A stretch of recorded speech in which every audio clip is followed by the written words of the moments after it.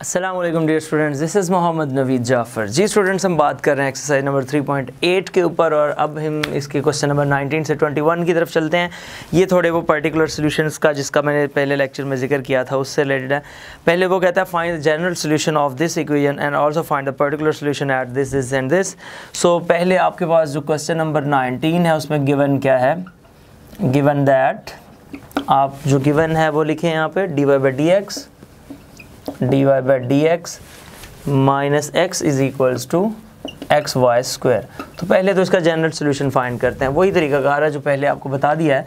यहाँ से d y by d x और इक्वल्स ये कर दें x plus x y square इसको इधर ले आएँ। यहाँ से d y is equals to x common तो वन प्लस वाई स्क्वायर और साथ डी एक्स ये उधर मल्टीप्लाई भी कर दिया और उधर से एक्स कॉमन भी ले लिया। सो so ये आ गया one over one plus y square d y और इधर आ जाएगा एक्स डी एक्स तो जी, अब इंटीग्रेट कर दें। इंटीग्रेटिंग तो आप देखें आपके पास क्या रिज़ल्ट बनते हैं। ये आ जाएगा one over one plus y square d y और ये आ जाएगा हमारे पास एक्स डी एक्स ठीक हो गया? जी one over one plus y square तो ये आ जाएगा टेन इनवर्स वाई ये डेरिवेटिव है उसका। एक्स प्लस सी ये आ गया। तो जी, ये हमारे पास सिचुएशन बन रही है। One over one plus y square और x sorry x square by two क्योंकि एक्स की जो इंटीग्रेशन है वो एक्स स्क्वायर हो जाएगी। ये तो हमारे पास आ गया इसका जनरल सोल्यूशन यहाँ मैं आगे लिख रहा हूँ दैट इज़ जनरल सोल्यूशन अब आपने इसका पर्टिकुलर सोल्यूशन भी बताना है। तो पर्टिकुलर सोल्यूशन के लिए उसने जो कंडीशंस दी हैं, वो कहता है गिवन दैट कि आपका जो x है वो ज़ीरो और y जो है वो वन है। ठीक हो गया? सो एक्स ज़ीरो और वाई वन पर ट्राई करते हैं क्या सिचुएशन बनती है? Tan inverse one is equals to zero by two plus c tan inverse one होता है पाई बाय फोर और ये आ गया सी सो so, आपने देखा कि सी की पर्टिकुलर वैल्यू आ गई। इसको ऊपर पुट कर दें। Put in general solution put in general solution तो ये आपके पास स्टूडेंट्स आ जाएगा। Tan inverse Y is equals to X square by two plus pi by four तो अब आपका ये पर्टिकुलर सोल्यूशन बन गया। इस तरह से आप जनरल से पर्टिकुलर में मूव करते हैं। So now it's the turn of question number twenty question twenty को देखते हैं कि इसमें क्या कहता है, फिर इससे आगे मूव करेंगे। जी question number twenty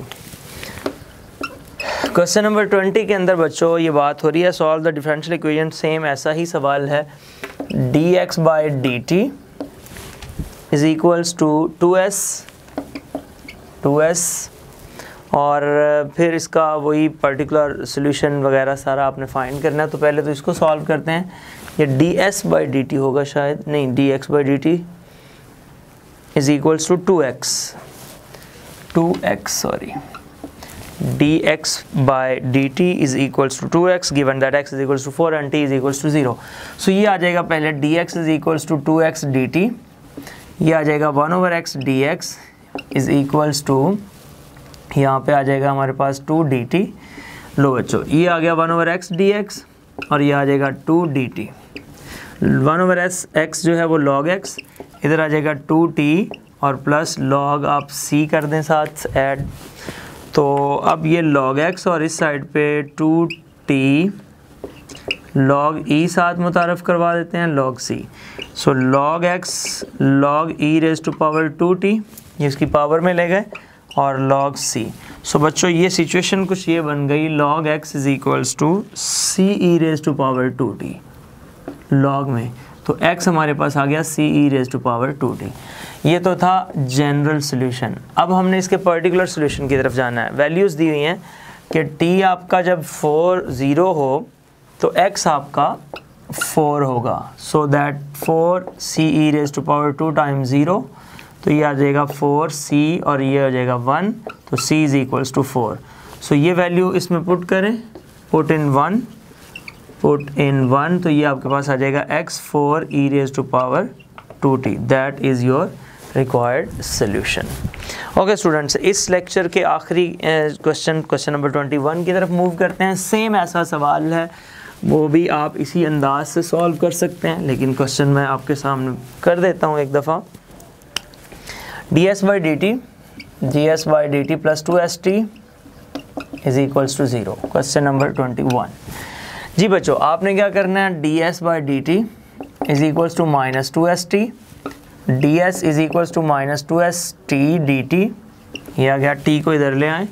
sorry S को इस साइड पे आप ले आए जी S by D T plus two S T G S को इधर ले आए one over S D S is equals to minus two T D T ये आ गया। अब आप इसकी इंटीग्रेशन कर दें तो ये आ जाएगा one over S D S is equals to minus two T और इसकी इंटीग्रेशन डी टी ये बच्चों आ जाएगा मेरे पास log s is equals to minus log s is equals to minus ये टू टी तो ये आ जाएगा two time T square by two और plus log constant of integration ये आ गया लो जी log S is equals to minus T square log E is इक् प्लस लॉग सी ये बन गया उसके बाद हम इसको लिखेंगे log S is equals to log E raise power minus T square plus log C log S is equals to log C raise power minus T square ये बन गया। लो जी, अब हमने log से log किया कैंसिल तो C E raise to minus T square हमारे पास रिज़ल्ट बना। अब इस रिज़ल्ट में हम फाइनली ये वैल्यूज़ पुट करते हैं जो गिवन है, कि आपका t ज़ीरो होगा तो s जो है वो फोर ई e हो जाएगा। तो four E is equals to C E raise to power zero मतलब c is equals to four E so C को जब मैं वन में रिप्लेस करूँगा तो one implies S is equals to four E E raise power minus T square S is equals to four E raise power one minus T square that is your required solution so उम्मीद है आपको ये lecture समझ आया होगा। फिर भी किसी किस्म का कोई सवाल हो तो ज़रूर पूछिएगा। ज़िंदगी रही तो इन शाला फिर इसी प्रोग्राम इसी चैनल पर दोबारा मुलाकात होगी। तब तक ले जा दीजिए। अल्लाह हाफिज़। असल